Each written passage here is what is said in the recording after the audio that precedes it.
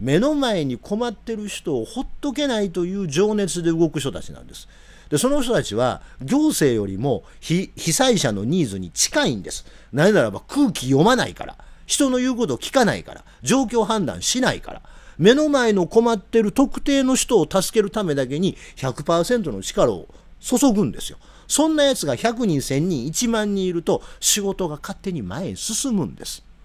音喜多俊塩村彩香平川恵里が能登地震発災後にボランティア行くな行くなと叫んでいたこと。登録を待てとか行政を待てとか言っていたことに対して僕はずっと批判しています。あと3年ぐらい批判し続けるつもりです。どういうことかっていうと、ね、結局ねこういうことになるんですよ。あの野口健がですよ。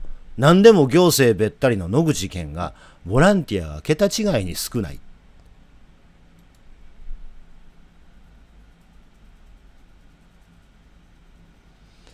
平川恵里、塩村彩香、音喜多俊。お前らのせいやからな。これなんでお前らのせいやって言うかっていうと、そもそもね、そもそもですよ。まあ、音喜多俊維新ですけど、まあ、まあまあ、その社会不適合者しか集まらない政党維新にいてはるんです。まあ本人も社会不適合者やから、それでいいでしょうよ。で、塩村彩香さんは立憲民主党です。平川恵里さんはどっちかというと野党寄りのライターさんです。あのね、そもそもボランティアというのはボランティアなんです。わかります？ボランティアですよ。ボランティアというのは無償労働の意味ではないんです。志願者というのがボランティアなんです。だから、我勝手にいかはる人が基本なんですよ。ボランティアは。もっと言うたらね、人の言うこと聞きたない人らばっかりなんですよ。誰かを助けたい。誰かのためになりたいとは思ってるけれども、誰かにあれをやれと言われるのは嫌な人がボランティアに行くんです。で、これはとても重要で、誰かの言うことを聞かないと、聞きたくないという人、特に上のやつからの命令を聞きたくないと思ってるからこそ、ボランティアに行くんですよ。で、だからこそ人を助けられるんです。なぜかというと、目の前の困ってる人のニーズに直接目が行くから。空気を読まないし、言うことを聞かないし、統制に服さないで、単に目の前にいる困ってる人のために汗をかこうというとこだけで、いろんなものをぶっちぎれる人やから、現場で役に立つわけです。今回の能登地震で言うと、鈴と金沢は110キロ以上直線距離で離れてるんですね。これ関東平野に持ってきたら宇都宮と東京ぐらい離れてるんですよ。宇都宮と東京離れてて東京で宇都宮の災害を金沢でよ。小松とか言うてんちゃうの？金沢でよ。金沢と鈴でそれだけ離れてるんです。ああ皆さんの手紙見たらここっちの方が分かりやすいんかな、えー、です。110キロです。でその鈴のねニーズなんてものは金沢でつかみきれるはずがないんです。現場に行ったら現場に行ったお家一軒一軒によってニーズは違うんです。で、またそれを行政が全部把握しようと思ったら、行政は疲弊するんですよ。無理なの。いろんなことがいっぺんに起こってる、ものすごく大量な問題が、多種多様かつ量が大量に発生してる問題を行政が全部把握しようなんて無理なの。だから鼻から人の言うことを聞かない奴が大量にわさっといるということがとても重要なの。なぜかというと、人の言うことを聞かない連中というのは、空気も読まなければ、えー、言うことも聞かないし、ただ目の前で起こってる問題にだけガーッとなれるやつが必要なんです。そっちの方が現場で役に立つんです、こういう時は。だから、どの都道府県でも防災計画では、ボランティアが重要だという項目が章立てされてあるんです。で、それを平川恵里とか、音喜多俊とか、塩村彩香は低能だから知らない。単に統制に服せという話だけしかしてへんの。行儀のいい私を見てということしか言うてないから。俺はそれに腹立ってんの。全く災害というものも分かってないし、人を助けるということがどういうことが分かってないし、ボランティアっていうことが分かってないか。で、こんなこと言うてる奴はいっぱいいますよ。それこそ高橋洋一とか他のやつも言うてます。右側の連中は行さん言うてボランティア行くな行政の言うこと聞けってあのね何にもかかわらず塩村彩香と音喜多俊と平川恵里のことを俺は文句言い続けた。なぜかというともっぺん言うでボランティアってのは我勝手に動く人なんです。で統制に服したくない人たちなんです。その代わり目の前の困った人に全全勢力を集中して目の前のお困りごとを解決しようと思うタイプの人なんです。そう思うタイプの人ってどっちかっていうと野党支持者に多いだろう。ツイッターのタイムライン的に言うと自分がフォローしてんのはウィルとか花田に書いてる連中ではなくてどっちかって言うたら塩村彩香とか音喜多俊がいる TL を見てる人たちですよあんたらは自分らの客に唾をかけたので、自分らの客の手足を縛ったの。ボランティアに行きがちな人々に。高橋洋一、長谷川光陽、えー、なんちゃらかんちゃらとか言ってのウクライナに帰りたい言うてなかなか帰らへんウクライナのやつ。えー、どうのこうのもいっぱいいろんなこと言うてましたよ。いわゆるネトウヨ文化人もね。ネトウヨ文化人の言うことをそうやと思ってる聞いてる人間は、鼻からボランティアなんかいかんのだよ。だからあんな連中が何言うてても構わへんねん。どうせ年寄りしか読んでへんねんし、ネトウヨの、ネトウヨ文化人の言うことなんか。ほっといたらええんです。で、アホやねんから、そもそもネトウヨの文化人を支持してるってことは、あの人間としての心根も知性も劣悪やからネネトウヨになるわけです。どんなに銭あったとしたとしても。人間としてかあの下劣だからネトウヨになってるんでそんなやつはボランティアなんか行かないんですよ。鼻から。いかんやつに行くな言うたところで、いかんねんから別に何の影響もないんです。ただ、塩村やか音喜多俊、平川恵里の周りにいるやつとか、お前らの客というのは、どっちかって言ったらボランティアに行きがちの連中やねん。その、その罪深さを言うてるんです、俺は。で、その塩村彩香とか音喜多俊とか、えー、平川恵里が、えー、まだ何の総括もしてないです。絶対総括すべきですよ。だってあいつらもうほぼほぼ人殺しですからね。あの幸福の科学のメディアにも平気で登場できるクソネトウヨの野口健ですらこんなこと言うてるんです。あのね、俺、テント村設営言うてるけども、あのね、申し訳ないけども、花からね、発災直後にボランティアに行くような連中って自分で寝袋を持ってあるいは車中泊するの上等で行っとるんですわ。わざわざ行政がこうやってテント村を設営せなあかんような奴らが、塩村彩香とか音喜多俊とか、えー、が言う、行政の言うことを聞くボランティアの末路はこうですよ。これ、行政の仕事増えてんねんって。わかる？言うてること。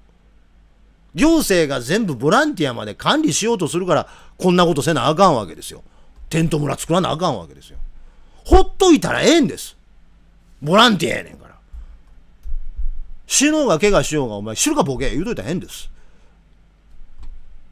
わかる？ボランティア、あのね、ものすごく無駄なんです。行政がボランティアを管理する。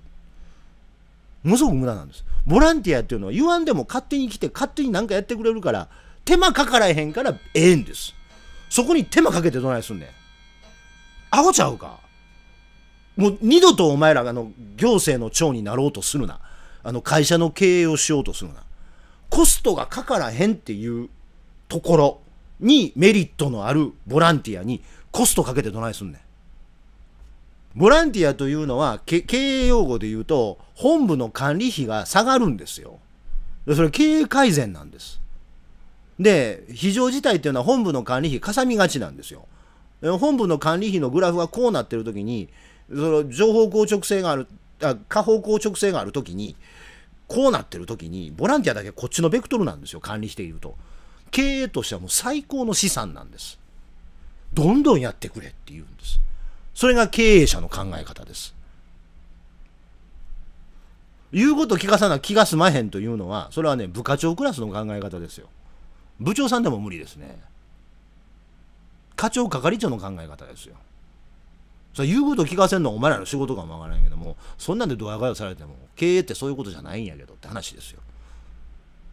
現場の可視感みたいなこと言うなって政治家ともあろうものが。もっぺん言うで。ボランティアというのは手間がかからへんからこそありがたいんです。その手間がかからんところに手間かけてどないすんね。わざわざ行政が人割いて、テント村作ったる。アホちゃうかアホちゃうかほんま。ビートたけしが、確かあれ、ソラチネやったと思うけども、ソラチナでブルーリボン賞を取った時のスピーチなんですけどね。えー、たけしあのようトースポにコラムみたいなの書いてた時期で、えー、と前の年のブルーリボン賞とか、まあ、ブルーリボン賞っていうのがもうあのお手盛りであんなもんお前業界との癒着やないかみたいなことをコラムでずっと書いてた次の年に確か空知ねやったと思うんですけどもでブルーリボン賞を取ったんですねでその時にあのたけしさんあのうん去年までブルーリボン賞を批判されてましたけど受賞のあの賞は受けられるんですかって聞かれたんですよ。ね、でその時にたけしがねあの「ただだったら病気でももらえ」っておじいさんから教わりましたって言った。あのね、ただやったら病気でももらうんです。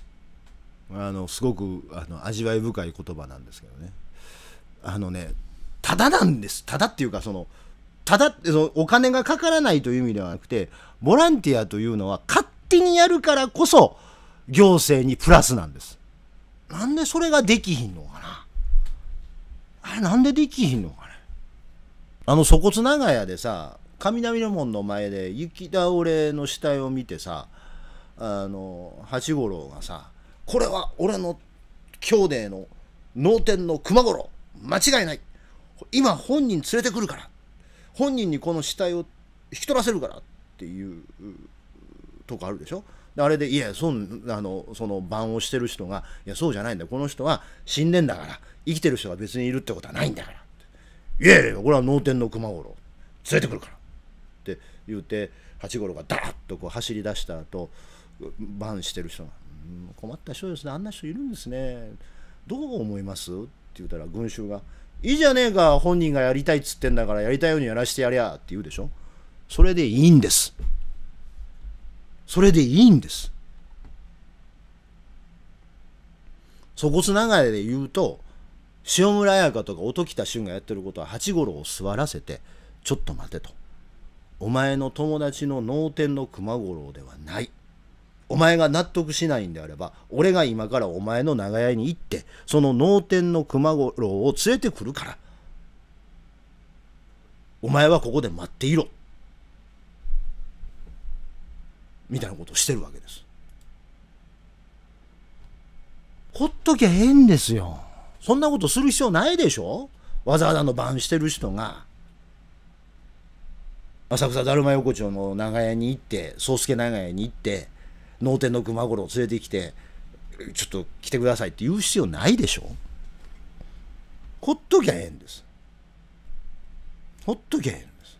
ほっときゃええんです。で完璧に言うことを聞かせたい。完璧的に管理したかった。ら金払えっちゅうね金払って雇用保険にも入ったって保険にも入ったって全部自分でそう完璧に管理するとそういうことでしょ。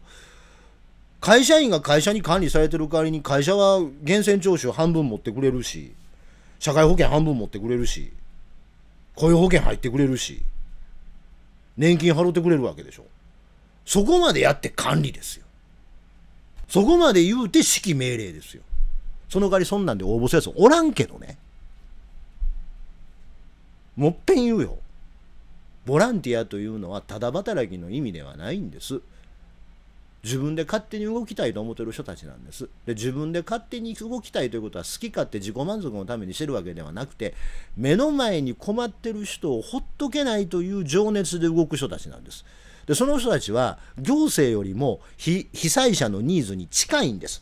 なぜならば空気読まないから。人の言うことを聞かないから。状況判断しないから。